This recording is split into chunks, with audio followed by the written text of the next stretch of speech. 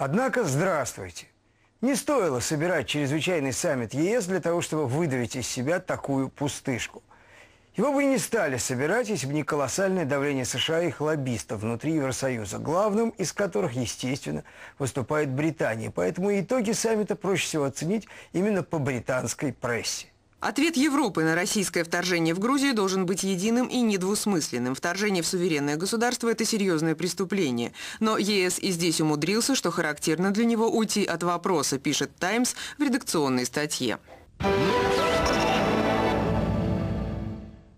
Что касается вторжения в суверенное государство, то преступлением, наверное, является выполнение миротворческих обязательств по предотвращению истребления одной из сторон в межнациональном конфликте. И Британия никогда не вторгалась в суверенные государства, уж тем более их американские патроны.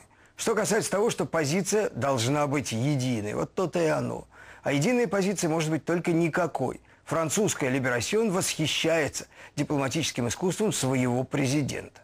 Триумф Николя Саркози, сегодняшнего председателя ЕС, ему удалось сделать так, чтобы 27 стран Евросоюза единым голосом высказались в отношении России, восхищается Либерасьон. «С Ялтой покончено», – воскликнул Саркози на итоговой пресс-конференции. «Возвращение сфер влияния на повестке дня не стоит».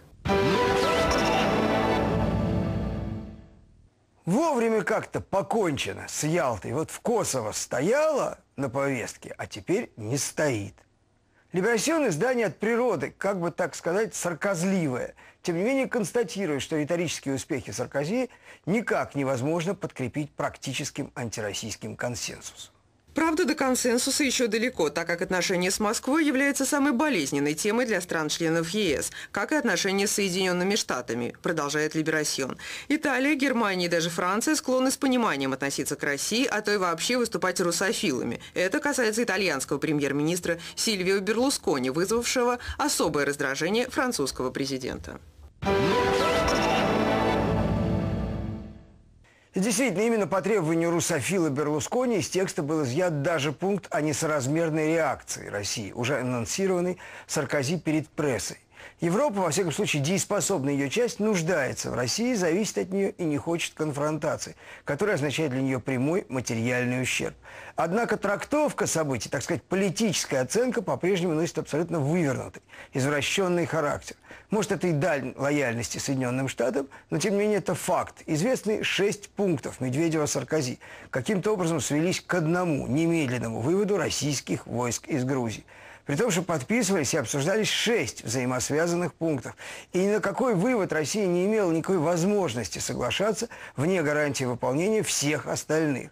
Россия вынуждена была, обязана признать Южную Осетию и Абхазию после того, как напрочь исчез пункт об обсуждении их статуса.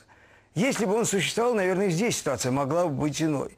При том, что странным образом рассосались пункты о гарантиях, о дополнительных мерах безопасности в отношении этих республик, Россия просто не могла ничего гарантировать, если бы официально не признала их независимость.